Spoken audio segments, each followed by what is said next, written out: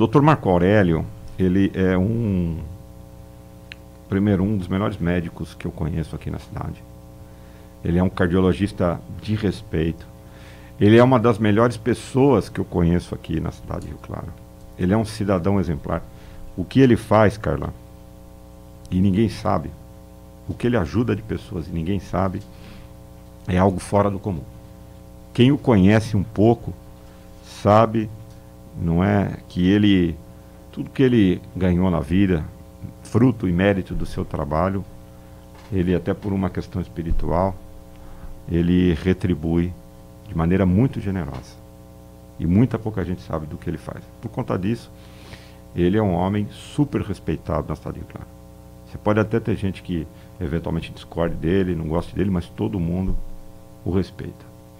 Né? Então, para mim, é uma honra é, poder ser amigo dele e trabalhar com ele. Quando eu fui acometido da Covid, em dezembro, é, nós estávamos prestes a iniciar o período de transição e de formação do nosso governo.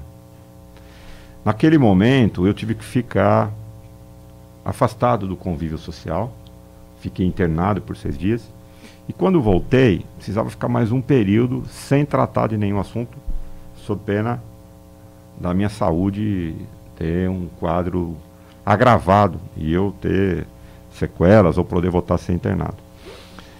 E como nós estávamos numa fase de fortalecimento ou de crescimento dessa segunda onda de Covid, final de dezembro, nós não tínhamos condições de começar o governo, chegamos à conclusão, isso, isso foi no sábado, tomei posse na, na sexta-feira, e no sábado fiz essa conversa com o Dr. Marco Aurélio, né, no dia primeiro, dizendo, olha, eu não tive condições de, de discutir muito esse assunto, não tive condição de conversar com pessoas, e ele então falou, não, Gustavo, eu me disponho a ajudar você por esse período.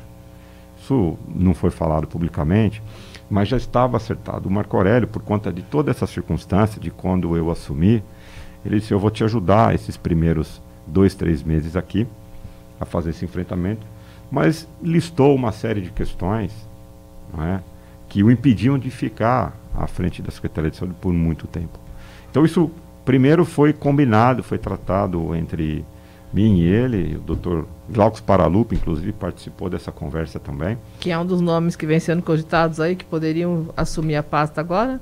Nós, nós tivemos, nós ainda não temos nome, não cogitamos nenhum nome, ainda trata-se de especulação. O doutor Marco Aurélio ainda é secretário de saúde, por quê?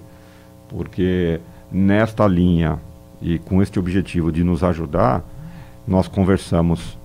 Hoje é quarta-feira, conversei com ele na segunda-feira à noite, uma conversa muito longa, muito boa Doutor Marco Aurélio, é importante dizer que ele não vai sair da nossa equipe. Não é? O que ele não quer é receber dinheiro para trabalhar, ajudar as pessoas. E, por incrível que pareça, qualquer pessoa que assuma um cargo público não pode abrir mão do seu salário. Não sei se vocês se recordam do então prefeito João Dória, hoje governador João Dória, que ele falou que não queria o salário, o que, que ele tem que fazer? Ele recebe o salário na conta dele e doa para uma entidade por conta dos órgãos de controle que tem a, a teoria de que todo mundo tem que receber para trabalhar.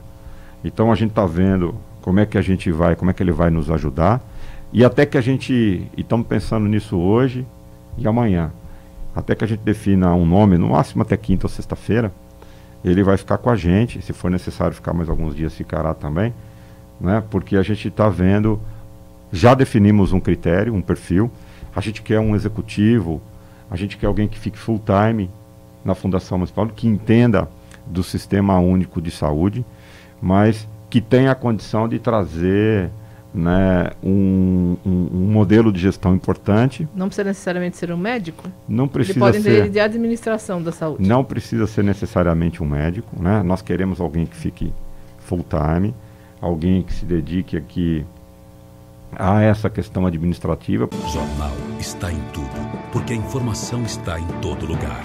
Jornal está em tudo.